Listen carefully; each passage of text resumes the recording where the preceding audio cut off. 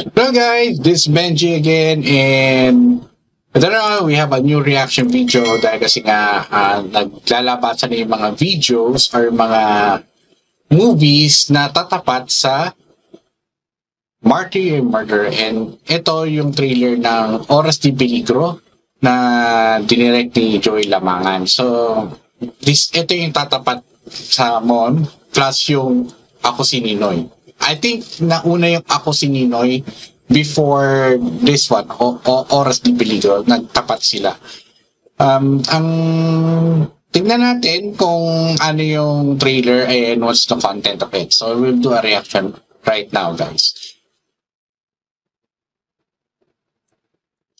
So guys, kinuha ko to sa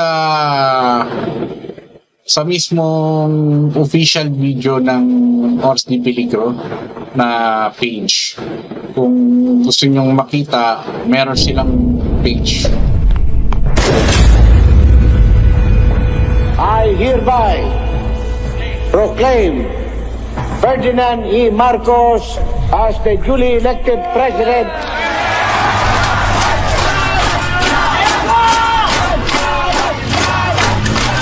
Mr. Marcos is determined to remain permanent dictator, come hell or high water. Okay, um, paano naging dictator si Marcos? Hindi ko maki, hindi ko kasi ma, paano nila nasabing dictator siya tapos may constitution tayo ng 1973. so, gra- for me, is grabbing of power to eh. Kasi nga, eh, nagra-rally sila. Oh, panalo si Marcos sa snap election nito. We cannot trust the opposition, whatever they may say. Huwag na tayong sumali sa mga ganyan. Kumayod na lang tayo ng kumayod. Huwag kang pumatay sa tatay ko. Hindi! Hindi ako! Alam mo naman na delikado pag kinakalaban mo yung gobyerno.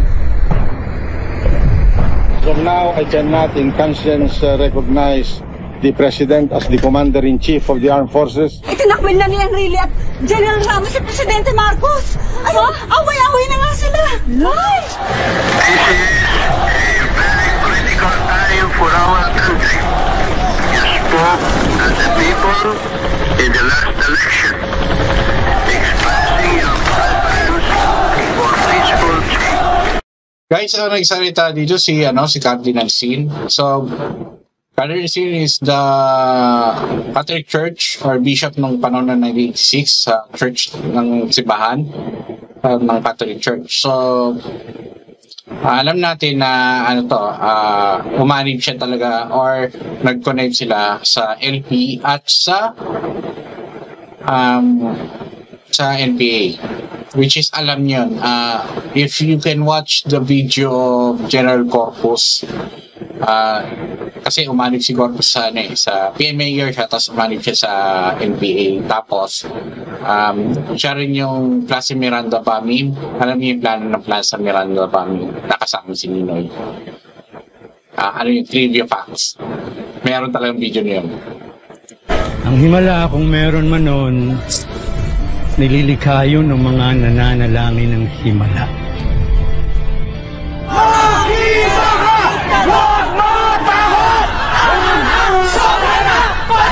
Umilos tayong lahat. Para yung himala, yung katarungan, ang magkatotoo. Kinuha niyo na sa amin ang lahat. Ang hanap buhay namin, ang karapatan namin. Ngayon pati ang bangkay namin gusto niyo kunin? Una ko silang umutasin. Jimmy, ikaw mismo naglalagay sa sarili mo sa peligro. Lagi na tayo nasa oras ng peligro.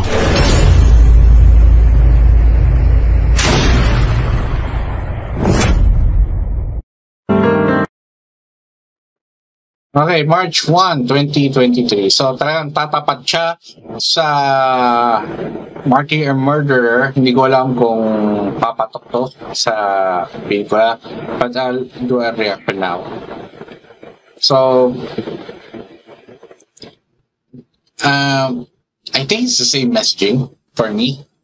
For me, ah, for me. This is my opinion. Uh, huwag kayong magalit. This is my reaction. So, sa trailer, ah, pinakita lang yung paano mag-alsa yung tao. Paano nagwelga, uh, nahirapan daw sila, na, na abuso sila ng ng pulis natin, uh, ng uh, ng sundalo natin. But I, I, I think it's kind of uh, is a lumang tugtugin na to or lumang line na na naabusi sila. Tapos kinuha yung karapatan at the time. Tapos sinaming diktator si Marcos.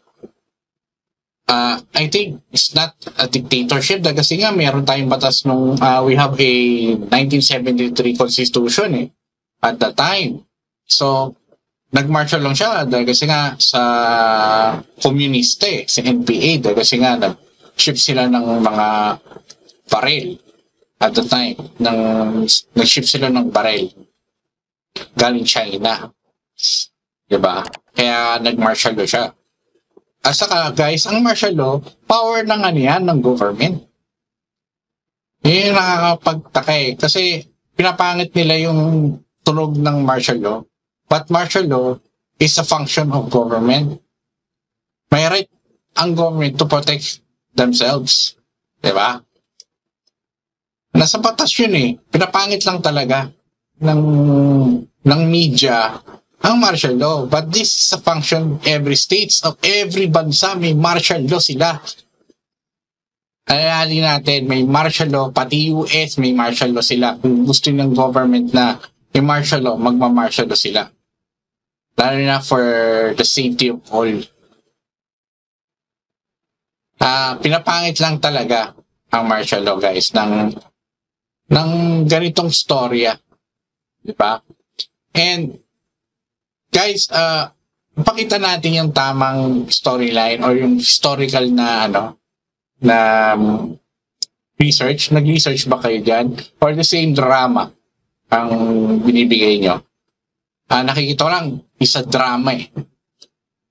Uh, drama, na, naabuso, binugbog, gagalit, nag, uh, nag-revenge.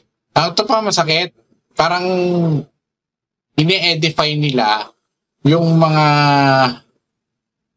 yung mga nagrarally which is hindi nyo ba alam komunista yun? Diba? Uh, what happened after the what happened at what happened EDSA? Yeah EDSA is successful. Napatanggal niya si, Ma, si Marcos. What happened to our country for for almost 35 years at uh, wala pa si Duterte, yung natapos si Noy Noy, may, may nagawa bang infrastructure? None. May nagawa bang um, may nagawa bang mga improvements? None. May mga uh, economic steps ba? None. Nawalan pang tayo ng ano eh. Uh, nawalan pa tayo ng island. Kasi hindi pinotektahan yung sovereign state natin. Oh. Di ba? Uh, what happened for that? Wala, di ba? Yumaman lang yung, yumaman lang yung mga promise ni, ng mga kinos, ng mga LP, di ba? Sila yung nag-benefit. Hindi yung tama eh. Hindi yung nakikita ko eh. Because of that, i-educate mo yung mga kabataan ng this movie. For me ah, parang it's just the same drama na Elsa is, Elsa is great, uh, Marshall is not, um, kaila, uh, kailangan ipakita yung nag-rally, nag-alsa kami because of dictatorship. Do you think that's dictatorship yung kay Marcos? Prove it is a dictatorship. That mayroon tayong constitution, sinunod nila yung election, nag nag-walk out pa nga sa Namprel eh. Namprel ang nag-walk out, hindi po, hindi po Comelec at that time. Diba? So, paano naging ano, dictatorship? Paano, paano ano, eh, sinunod, sinunod naman ng isang tao o ng isang presidente yung batas. Ano talaga, grab of power. Yun yung uh, akin nakikita dito. And the same old, I'm sorry, it's the same old messaging, guys. Laging the same old messaging. Na, na tanggalin yung um, masama ang Marcos, can you can you change your mind naman na uh, na let me heard the real story of the Marcoses. Okay, that's your story. I respect it. But for me, mas curious ako doon sa kabila. Kasi for almost 35 years, narinig ko yun eh. Sa libro, sa sa Channel 2. Di ba? Lagi sinasabi nila yung parang martial masama, na walang karapatan ng tao, everything. Um, sa mga sa mga pro yung nanalo sa sa election noong 1986 yan yung sinasabi niya same messaging but uh, ngayon kasi ang tao ngayon because of social media nag-iisip rin sila eh nagre-research siya what what happened what happened in 1986 yeah. di ko alam kung for me same messaging tingnan natin tingnan natin ang magiging kanilang uh, takilya kung matatapatan niya ang martyr, martyr and murder or or or hindi or magpa-flop siya. Tingnan natin. Sa sales naman malalaman natin yan. And uh, I don't want to ano yun lang. Yun yung sa akin. It's just the same messaging.